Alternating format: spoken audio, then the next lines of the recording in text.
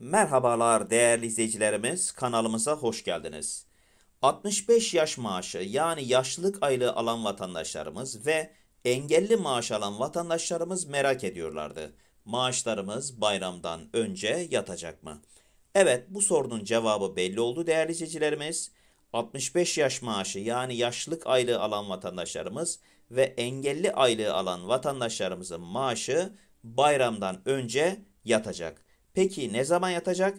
29 Nisan Cuma günü hesaplara yatacak değerli izleyicilerimiz. Tabi engelli vatandaşlarımızın bir isteği daha var. Ee, Birçok vatandaş grubumuzun aldığı gibi kendilerinin de değerli izleyicilerimiz bayram ikramiyelerinden faydalanmak istiyorlar.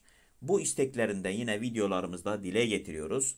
Engelli vatandaşlarımıza da bayram ikramiyesi verilirse onlar için tabii ki çok iyi olur. Bir nebze olsun geçim sıkıntılarına katkı olmuş olur. Önemli gelişmelerden haberdar olabilme adına kanalımıza abone olursanız memnun oluruz. Videomuzun beğen tuşuna basarsanız memnun oluruz. Bir sonraki videomuzda görüşmek üzere. Hoşçakalınız.